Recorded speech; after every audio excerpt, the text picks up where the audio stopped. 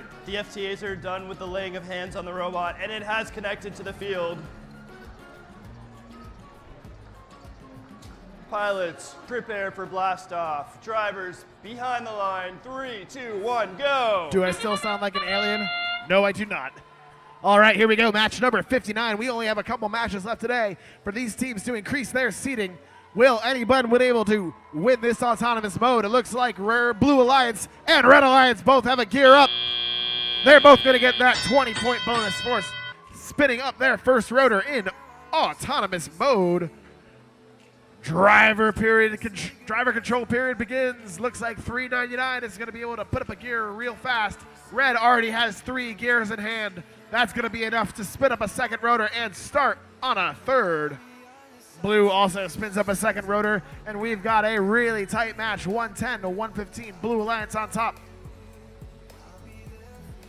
Robots loading up on gears, returning to their airships, trying to score those gears and spin those rotors.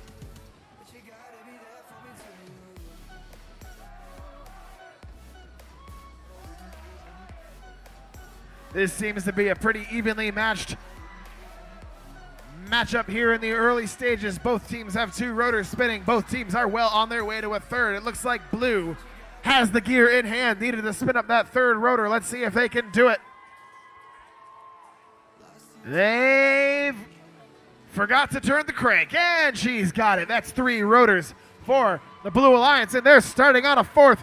Meanwhile, Red Alliance is one gear away from getting their third rotor. It looks like they have it in hand. Let's see if they can get it up and spun up. They've got it. Three rotors apiece.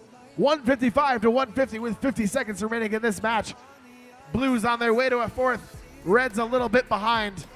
We'll see if either one can get it. It looks like this one might come down to those climbing points.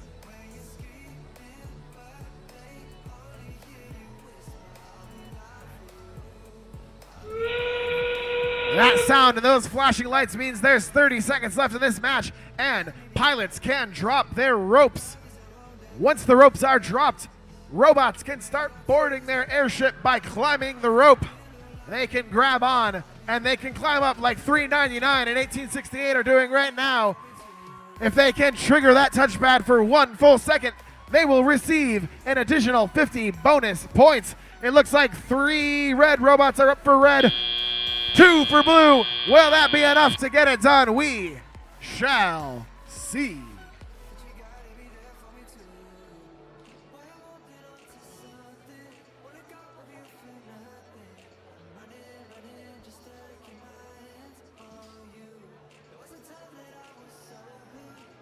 There was one foul on team 199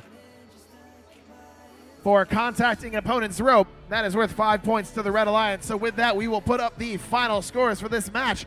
With 305 to 205, the Red Alliance is victorious.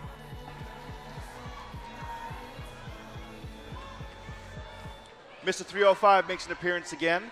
Three rotors, uh, three rotors, three hanging robots, autonomous, and uh, mobility bonuses daring the Blue Alliance to, to overcome that. Red Alliance does it, takes away the win.